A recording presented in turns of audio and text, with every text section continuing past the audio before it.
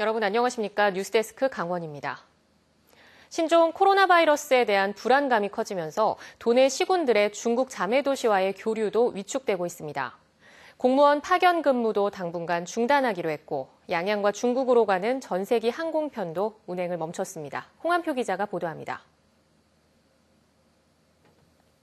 강릉시가 지난 2004년부터 자매도시 결연을 맺은 중국 징저우시와의 공무원 파견 근무 교류를 당분간 중단합니다.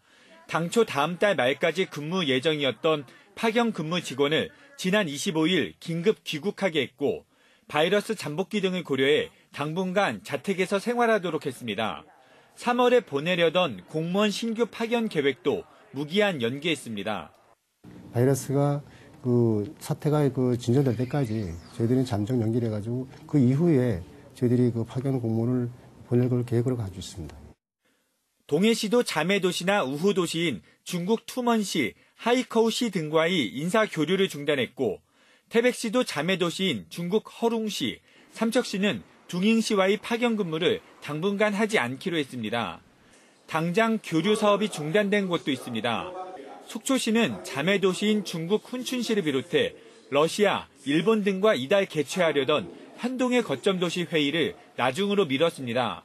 삼척시는 매년 4월 중국 둥잉시 황하구 국제 마라톤 대회에 일부 직원들을 보냈지만 올해는 전면 재검토할 방침입니다. 동영시랑 상호 파견으로 마라톤 대회에 좀 참여를 해왔었는데 이번에 코로나 바이러스가 성행을 계속하게 된다면 좀 미루던가 참석을 안 할 수도 있을 것 같습니다.